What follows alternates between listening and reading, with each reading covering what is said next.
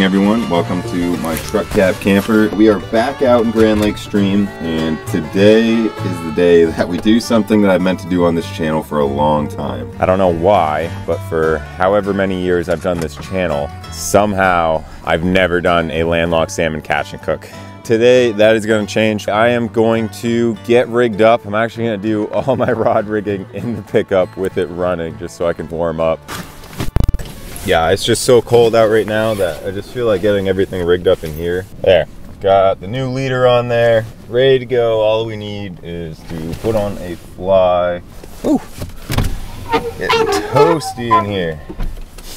I am enjoying some puddle coffee that I got from a basically a swamp over there. I do have a water filter that I trust a lot or else I wouldn't be doing this, but it just doesn't taste the best. There was mosquito larvae swimming around in there and frogs and all kinds of stuff. Coffee kind of covers the flavor. So anyway, it's kind of a dark day out there. So we're gonna go with this olive retriever. I'm a big fan of these. This one has a tungsten stone on the front.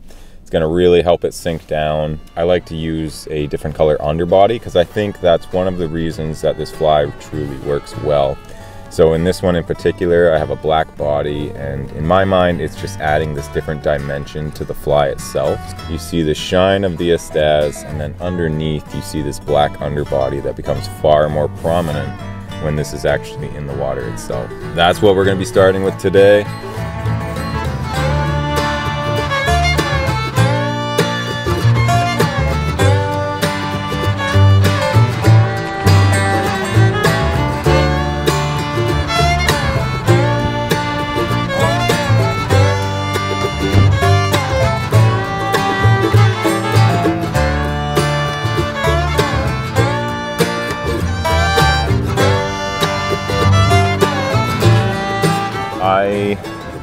Am, I guess, the only one here, per usual. Uh, with this particular flow, I couldn't tell you how high the water is itself, uh, but I can just, I've been here enough to know that on this flow, I like to be on this bank because I can swing my Spey rod in towards the dam pool versus on the other side, it swings downstream.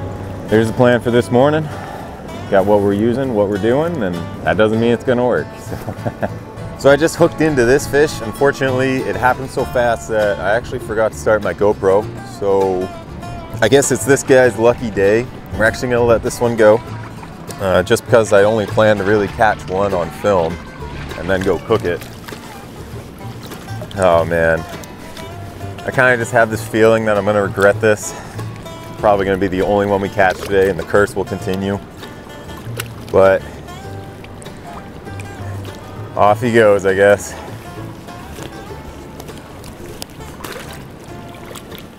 What I can do is show you how translucent this golden retriever or olive retriever gets when it's wet.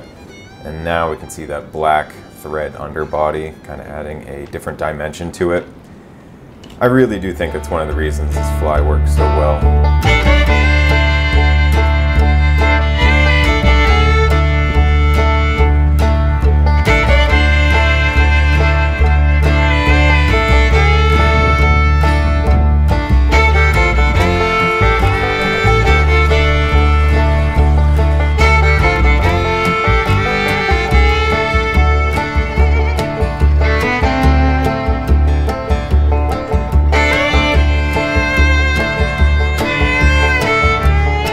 Moved on to this particular run.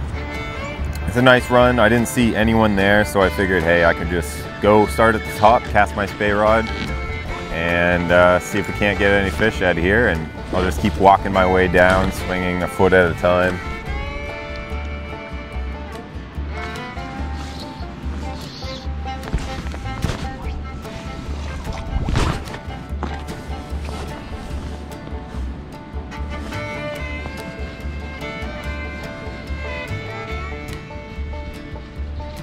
Fish. Yes. Man, I was getting worried. I didn't think I didn't think we were gonna actually get one down here, but wasn't happening at the dam so kind of had to move on. Nice. Now, if we can just get this fish in, we are gonna have ourselves our first landlocked salmon catch and cook. Looks like a perfect eating size to me. Well, if we ever were to keep a fish, this is the one. It's got a little bit of gill damage there. This is a stocked fish. So that's exactly what we're gonna do. Might as well eat him.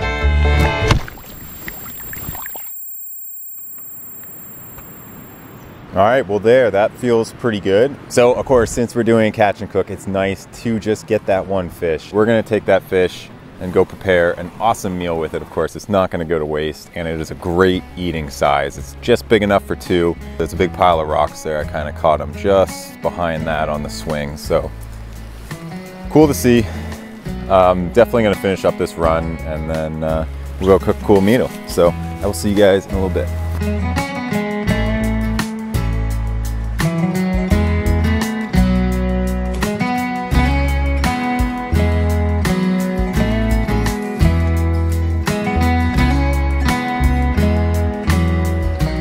Brought and cleaned out that landlocked salmon. So we're gonna do the very first landlocked salmon catch and cook on this channel. Salmon has very good natural flavors in my opinion, so I usually don't do too much to it.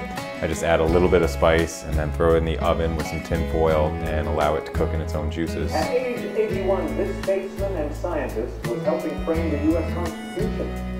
Austin was Franklin, Benjamin Franklin.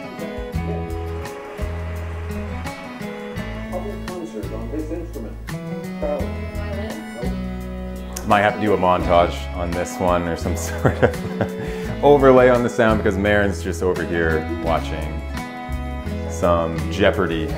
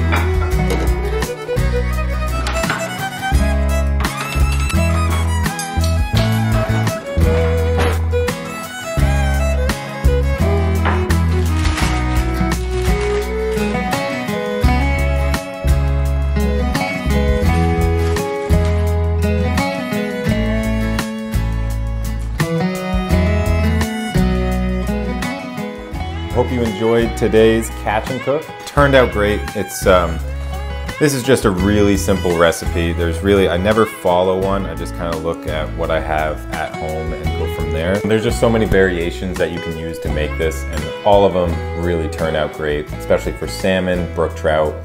You know, when you come home from fishing, you don't necessarily feel like doing too much. Well, the prep time for this probably takes maybe 10 minutes or so. And if you want to see more catch and cooks like this, and just other adventures in the Truck Cap Camper. Make sure you go down below and hit the subscribe button. And if you liked the today's video and you want to see more in Catch and Cooks, let me know by going down and hitting that like button. Thank you guys so much for watching, and I will catch you in the next adventure. So have a good night.